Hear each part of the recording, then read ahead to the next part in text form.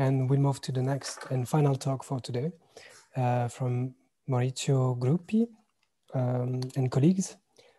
It is entitled From Tweeting About News to Creating News Around Tweets, Characterizing Tweets Embedded in News Article. We have the speaker. Yes. Okay. Yes. Um, just making sure you can hear me. Yep. Right. Uh, let me share the screen. Um,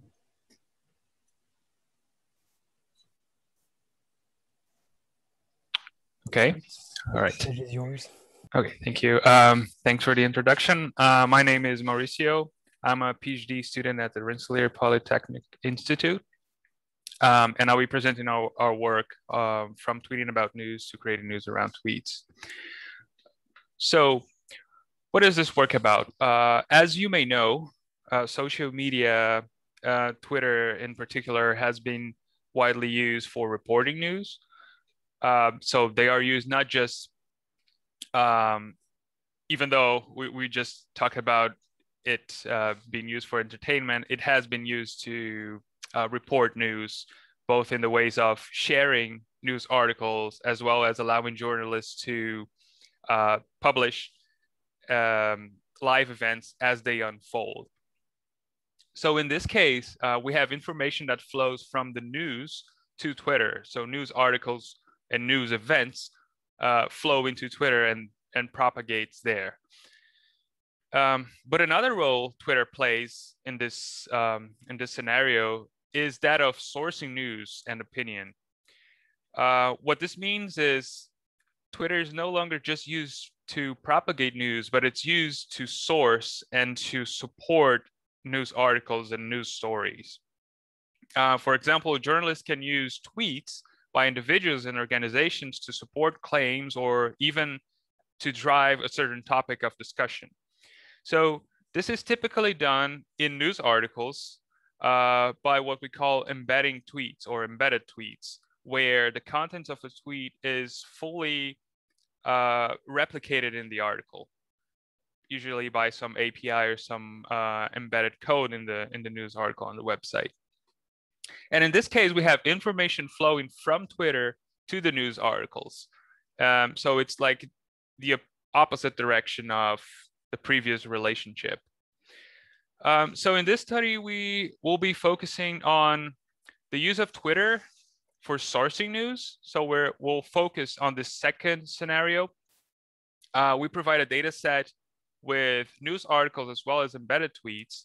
And we aim at, at characterizing the use of these embedded tweets by different groups of sources, namely sources that are treated and seen as reliable, mostly mainstream sources, but also unreliable sources, uh, which are often conspiracy and pseudoscience websites.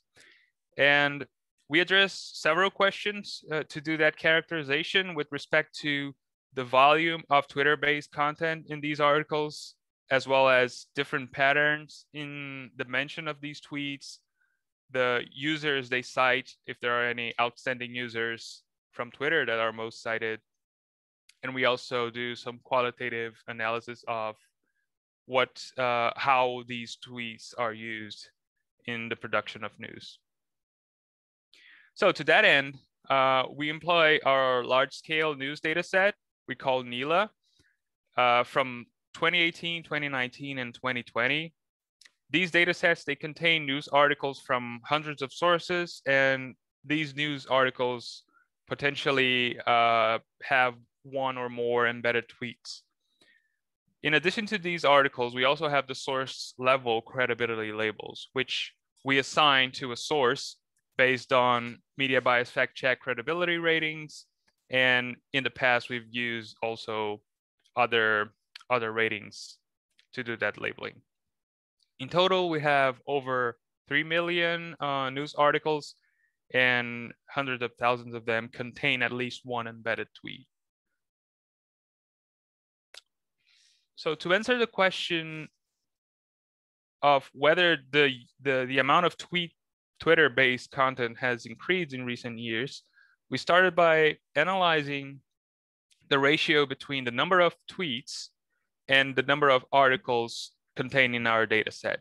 So just to, to clarify, our data set contains uh, articles from a few hundred of sources, mostly reporting in English and on US uh, related news, although some, some sources are not US based. Um, but those are mainly uh, US news sites. And we can see there's a growth in the number of articles and in the number of embedded tweets, but this is not exactly uh, explaining a trend here just yet. This may have happened just because our collection has uh, increased over, over the years.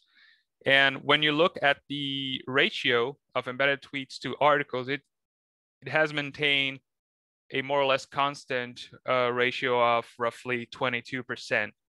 So this means roughly 22% of the articles contain at least one embedded tweet. As for the difference between uh, these mentions by reliable and unreliable sources, we have noticed a significant difference between how many articles from reliable sources contain or mention a tweet versus unreliable sources. So on average, 25% of articles published by unreliable sources mention one or more tweets uh, against 8% of reliable. So you're more likely to see an unreliable source mentioning a tweet and using it in its discussion than a reliable one. Also, with respect to the credibility of the users that these sources mention, um, we have seen differences in in the trends they they cite. So, for example, um, unreliable sources tend to cite users that are not verified versus reliable that cites more often verified, though that's not necessarily a signal that a user, uh, just because a user is verified doesn't mean they will be uh, trustworthy but uh, we are looking at the distributions to see whether there are differences with these aspects and and they actually um, they are. Um, another interesting finding is that reliable sources out of the out of the user accounts they cited, we found that slightly over 500 accounts were banned by Twitter at some point after they were mentioned or after uh, they posted their tweets versus uh, over 5,000 accounts from unreliable sources, which means unreliable sources uh, tend to mention tweets by people that will later on uh, be uh, banned from Twitter for some reason. We, we haven't specified the reasons why they were banned, some perhaps some violation.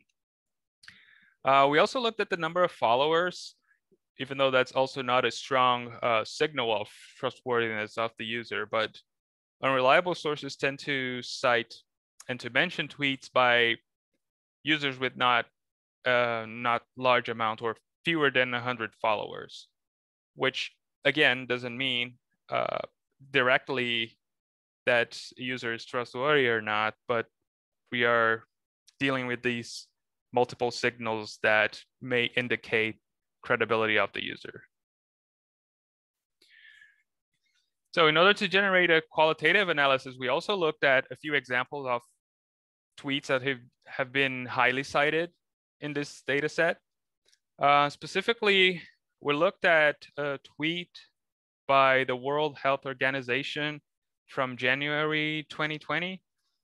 Um, this tweet has been mentioned 116 times in different articles. So sources throughout the, the the spectrum, reliable and unreliable, have cited, have, have mentioned this um, tweet for different purposes. And what we see here is the, the surging of different narratives around the same tweet. So this what, what this tweet is saying is that um, Chinese authorities have found no clear evidence of human to human transmission of the novel coronavirus. And this was published back in January 2020. And uh, after this, and after scientists discovered everything about the, the coronavirus and COVID 19, there has been uh, many unreliable sources using tweets like these to create uh, false narratives and to imply conspiracy theories. For example, we can look at a headline by Breitbart uh, that says uh, in, a, in an article that states and that affirms that uh, the World Health Organization is related to the Chinese government and is trying to cover up for something that uh, China did with the coronavirus. So different narratives uh, arise like these. We also look at another case study um, with a similar a similar idea, but uh, different purpose. In this case, is a misinformation piece published by a Chinese government official. And here we see both reliable and unreliable headlines um, and sources trying to debunk this piece of misinformation. And even though they are trying to do the same thing, they are doing it through different frames and constructing different narratives.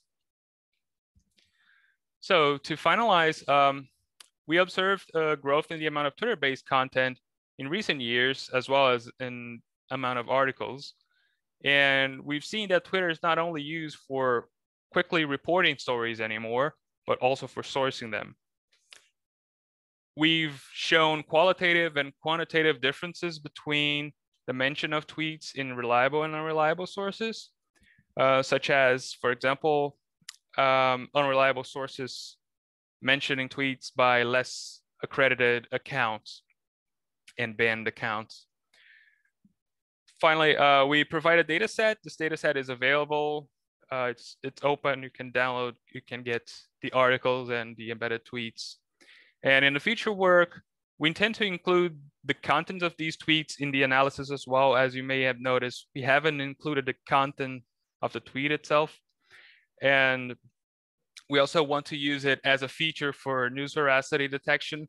So if you if you followed um, Ben's presentation previously, you see that there's uh, a network that we can build to characterize sources, and we are looking at ways this type of behavior can be modeled into a way to represent sources as well, depending on how they mention tweets. So this concludes my presentation. Uh, feel free to ask any questions now or later. You can uh, always reach out to me or to my co-authors by email. Thank you very much.